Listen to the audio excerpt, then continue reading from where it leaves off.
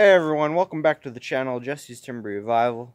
Today I just wanted to tell answer the question, does my solar air heater work better in the summertime or the wintertime? And surprisingly, it actually works a bit better in the winter. Like the temperature increase of it, of what it does to the air. The reason is, is because in the, my solar air heater is directly on the wall. It doesn't have any tilt or anything on it. And in the summertime, if you see the sun, it's way up there.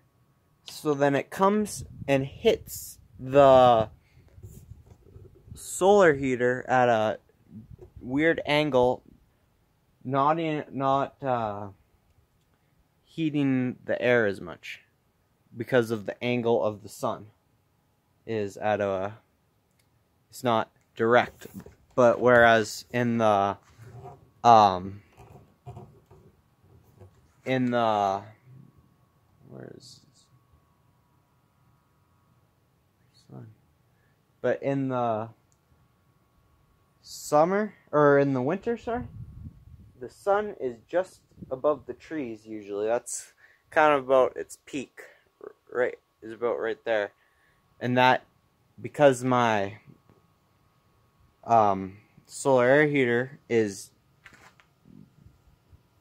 face is pretty close to directly in the sun.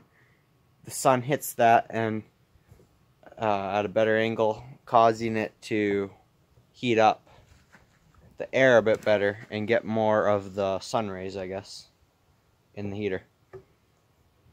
But yeah, and but it's better that it works out that way because in the summer I don't really need it, need the heat as much, but in the winter it's nice to get it a couple more degrees in there. But uh, thanks for watching and please subscribe.